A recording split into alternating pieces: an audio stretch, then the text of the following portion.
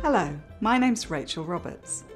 I've been in education for 30 years now as a teacher, teacher trainer, and materials writer.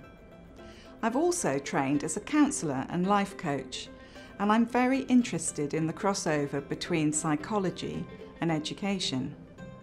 Career skills is one such area of crossover. Career skills are soft skills or qualities which are highly valued by employers. For example, leadership, team working, communication, decision making, problem solving, goal setting, the ability to self reflect and assess, creativity, and drive. While students leaving education these days are probably the most qualified they have ever been, employers often state that they are lacking in such skills.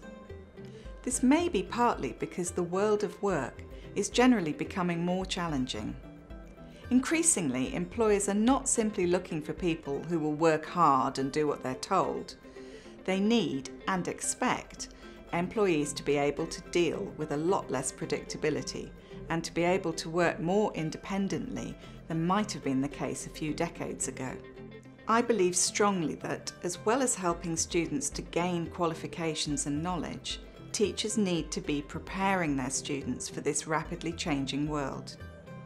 We can do this through embedding skills such as communication, teamwork or problem solving into our usual work on language and language skills. How do you prepare your students for the world of work?